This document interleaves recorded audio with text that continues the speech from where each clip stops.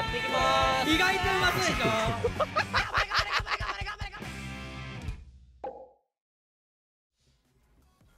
ょ？マジで韓国久々、久々というか、ジャスに久々会ったのおもろかったわ。タクシーってみんなあの違法スピードで走ってるの。マジでみんなあれだよ。ちょ、リオンのあのとかもう一回見直そうぜ。やばいから。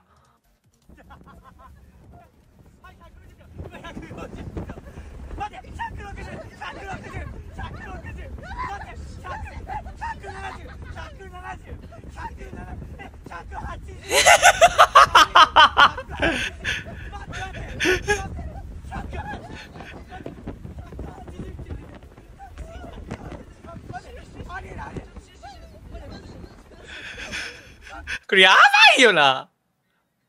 平均が150キロで走んの。最初、空港からスタートして、パラダイスシティっていうカジノに行ったんだよね。そこから移動するときに、スタッフと合わせて、タクシーを2台頼んだんだよ。で、2台来たのが、すごいボロい、グラセフのタクシーみたいなのと、旅行客用のピッカピカのが来たの。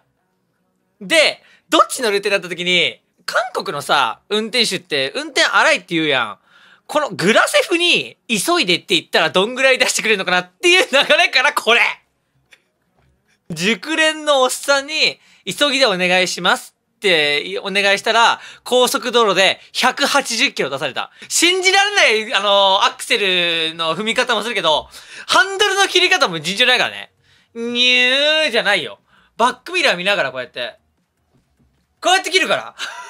でも、何が言いたいかっていうと、そのおっちゃんは生きてるんだよね。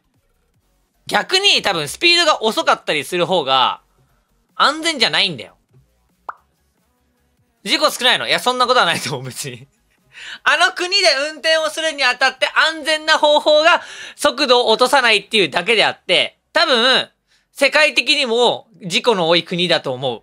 あの運転を見たらわかる。ギャンブルの話って申した？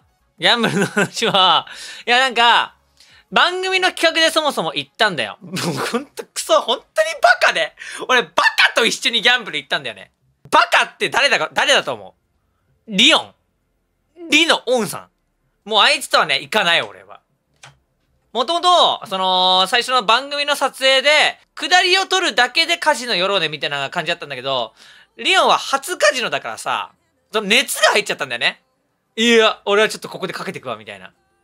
いや、ちょっとリオン出ようぜみたいな。リオンちょっと次もあるからさ、いや、俺はここでかけさせてくれ。俺は勝てる気がするっつって。サイコロでやるルーレットみたいな。サイコロの目で、3個み、えーサイコロが、ま、回るんだけど、最大数18じゃん。真ん中で割って、9からこっちは大。9から少ない方は小みたいな感じで。それがルーレットでいう黒白みたいな感じでできるゲームがあったの。で、そこしか空いてなくて、そのサイコロルーレットを3人でやってたんだけど、俺はそこで、えっ、と、10万が、ちまちま買って、12万5千円ぐらい買って終わったんだよね。で、それを見て、さらにリオンが熱入っちゃって、あいつかけ方おかしくて、1回で5万とか10万かけんの。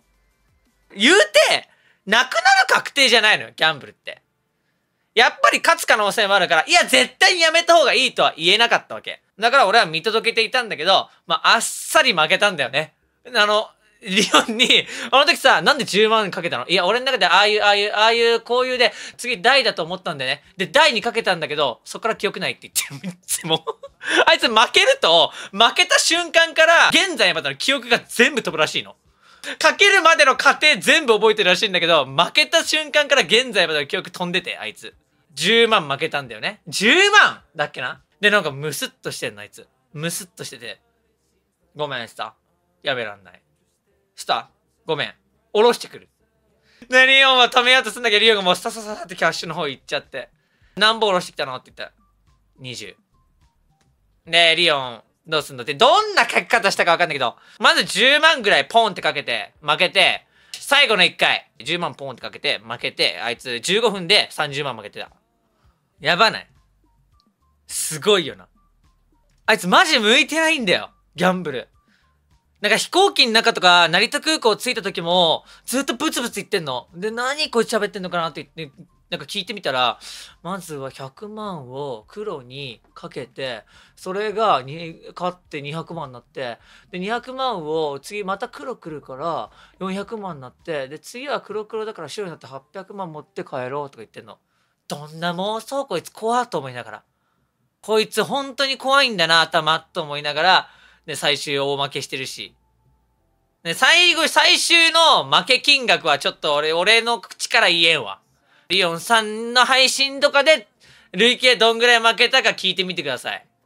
俺の口から言えん。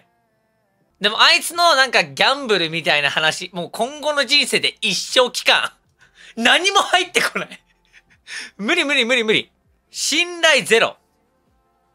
一回も勝てなかったのかな？いや、なんだっけな？なんか言ってたんだよな、彼。バカなことをゴミのようなカス。もうカスすぎて覚えてない。なんか、あ、もう頭に入ってこなくて、彼の言う言葉が。何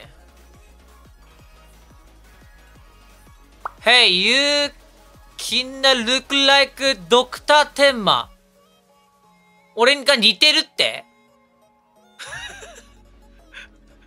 確かに。確かに似てるかもな。目はあんまかもしんないけど。この画像がすこぶる似てるな。韓国行っても、めっちゃ言われた。アメリカ人って。マザーアメリカ人？おー、グランドマザーアメリカ人？うん？メイドインジャパンって言ってた。なあ、やっぱ見えんだなーと思って。嫌じゃないけど、言われすぎてるかも。メイクさんには絶対言われるし、メイクする前とか、むくみを取るためにマッサージするんだよね。で、絶対こう、ここから入って、で、ここマッサージして、こう来て、ここ触った瞬間にハーフですか？って絶対言うの。こう、にゃにゃにゃにゃにゃにゃにゃにゃにゃにゃにゃにゃにゃにゃにゃハーフですか鼻が高すぎる。鼻が、まあでも俺最近気づいたね。だから俺、俺ここずっと見えてるよ。ここがい、ここがいる。うん。お顔は父さんに母さんに？これがもう 俺すぎて 俺初めて見た時に、俺の白黒かと思った。俺、これ親父。俺すぎだろこんなことある？いつ見てもウケるわ。いけ怖っもう親父の就活の時の写真だね。目とかまんますぎだろ。血ってすごいよな。本当に血ってすごいよな。逆にママミの要素あるの？バカなとこだね。うちの親父は上智出てるからさ。じいちゃんも高校の教師で、みたいな家系なんだけど、ゆうやがやっちゃった。